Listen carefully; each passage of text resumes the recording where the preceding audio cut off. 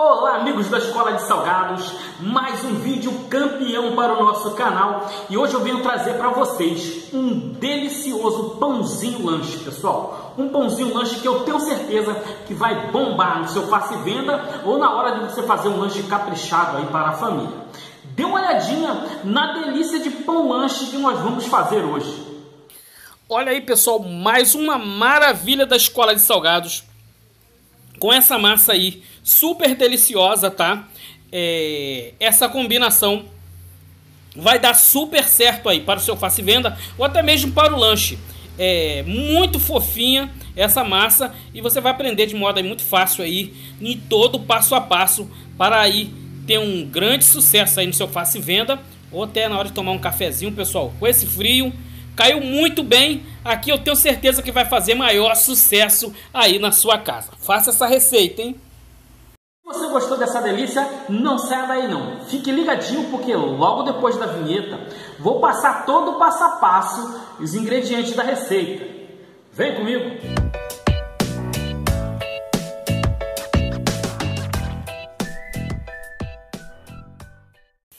Bom pessoal, vamos à receita para fazer a massa do nosso pão lanche nós vamos utilizar uma xícara de leite, tá? A xícara que eu estou usando é de 240 ml e o leite está em temperatura ambiente.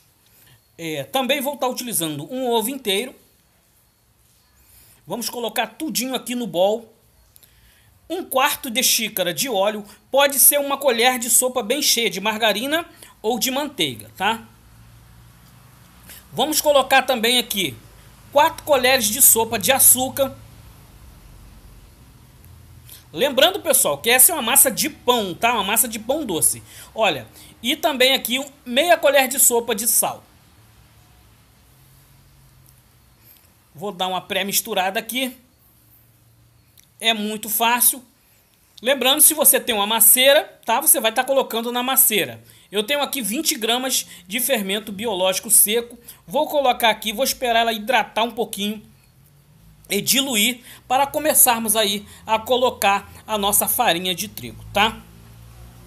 Vou misturando aqui. Geralmente eu deixo ela parada um pouquinho, tá? Para diluir, aproximadamente uns dois minutinhos parada e depois eu começo a colocar aí a farinha de trigo, tá? Se você está fazendo a, na maceira, é, você pode estar fazendo o processo ao contrário. Colocar os secos, tá? Dar uma pré-misturada e depois você vai, assim, com todos os líquidos aqui, ó, colocando na, na, na, na maceira para poder bater. Eu vou colocar aqui, pessoal, uma tampinha, tá? Olha, tô usando esse vidrinho de baunilha, essência de baunilha. Vou colocar uma tampinha de essência de baunilha, tá? Você coloca aí a gosto aí, ó.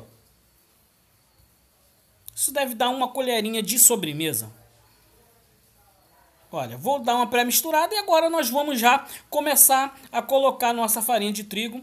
Olha, eu tenho aqui 500 gramas de farinha de trigo.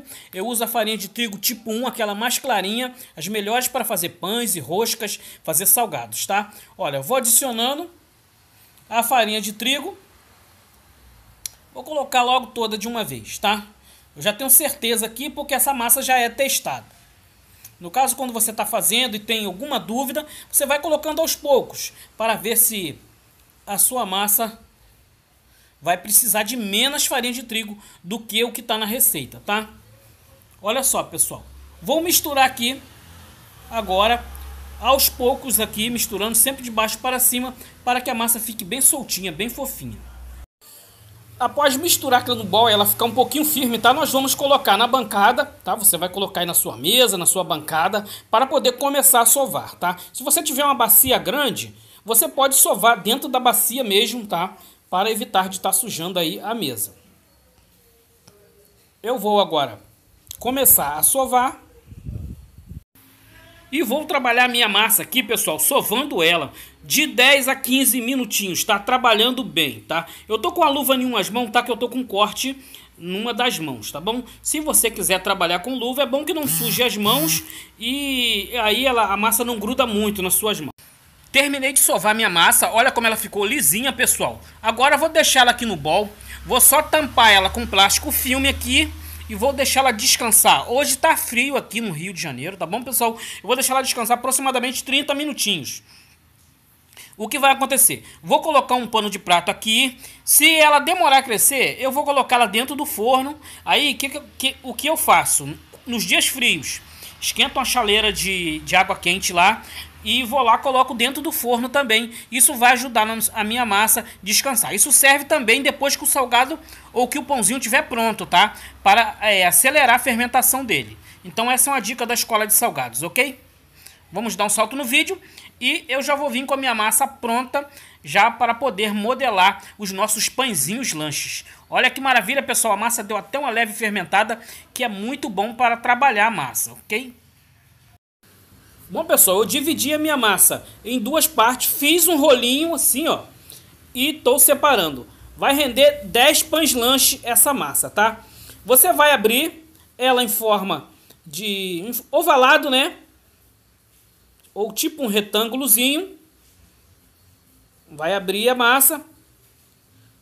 No meu caso, eu estou fazendo com queijo e presunto. Você pode fazer com frango ou com recheio da sua preferência. Eu coloco é, a mussarela, vou colocar um pouco de, de presunto e tem duas formas de aí colocar dentro dela. Você pode estar colocando cheiro verde, azeitona, fica aí o seu critério, o sabor que você vai querer deixar aí o seu pão lanche, tá? Olha, coloquei o orégano aqui. A forma de fechar, pessoal, é muito facinho. Olha só, você vai pegar as pontas e vai juntar em cima do recheio, olha, vai apertar. Vai juntar, vai fazer isso com todo o seu pãozinho. Vai fechar. Olha. Com muito cuidado, apertando bem, para que ela não desgrude. Não se preocupe com a emenda, porque a emenda vai ficar embaixo do pão, tá? E depois ela, ela praticamente some. Olha, e por último você vai estar tá empurrando as pontas pra, para dentro, tá? Olha. Aproveita para tirar o ar do pão. Empurre as pontas para dentro. E ele vai ficar nesse formato aqui que eu vou mostrar para vocês, ó você vai fazer formato de pãozinho mesmo, né? Olha, você vai fazer isso com todos os seus pãezinhos lanche. Olha, aqui eu já botei cheiro verde e azeitona. Você vai colocar, pessoal, em forma, em forma em assadeira, untada com óleo, tá? Ou você vai passar margarina. Olha aí, ó. Coloquei as pontas para dentro. Eu vou estar tá aqui, pessoal, olha só. Vou estar tá aqui arrumando todos os meus pãezinhos aqui, acabando de fechar. Vou colocar em tabuleiro, tá untado com óleo. E antes de, de levar eles para descansar novamente, para eles fermentarem, eu vou mostrar para vocês. Tá aí, pessoal, já modelei todos os meus pãezinhos lanche. Agora vou levar eles para em lugar abafado, tá? Eu coloco às vezes dentro do forno, tá? É, desligado e deixo ele lá fermentando, fermentando crescer, até quase dobrar de tamanho e já volto para mostrar para vocês. Que aí nós vamos finalizar para colocar no forno para assar. Ok? Vamos dar aquele salto no vídeo e eu já vou mostrar para vocês aproximadamente, pessoal, meia horinha aí para eles chegarem no ponto, tá? Em dias frios pode demorar mais um pouquinho. Aí, pessoal, nesse momento eu vou acabar de pincelar todos os meus pães. Quando eu venho para cá para pincelar e finalizar os pães, eu já ligo o forno, tá? Vou pincelar com ovo, tá? Coloco um pouquinho de água. Tô colocando gergelim, mas é a gosto. Vou colocar cheiro verde aqui, tá? Para finalizá-lo. Pode ser orégano também, vai ficar aí ao seu critério aí. Aí, quando der aí 15 minutos, 20 minutos que meu forno já tá aquecendo lá, que eu vou colocar os meus pãezinhos para assar, tá? É... Forno de 200 graus, você vai colocar ele para assar de 25 a 30 minutinhos, tá? Mas aqui no meu forno foi esse tempo, fique de olho, tá? Porque o seu forno pode alcançar temperaturas maiores conforme for esquentando, fique de olho para você não deixar queimar o seu pão. Eu sempre coloco na parte mais alta do forno, tá?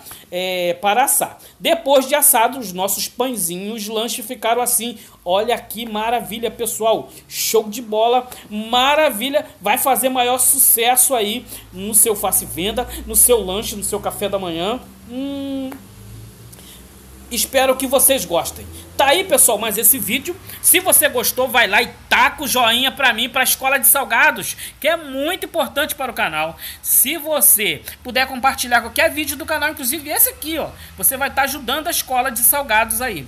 É, qualquer dúvida, vai lá nos comentários, é só perguntar que eu vou responder para vocês, tá? É, o preço aí sugerido de venda desse salgado aqui, pessoal, varia de 3 aí a 4 reais aí desse pão lanche aí caprichadão, tá? É, mas vale pesquisa da região aí para você não ficar fora de preço, ok? Um beijão para todos, um grande abraço e até mais. You're like a circle that floats around me, keeping me safe and sound.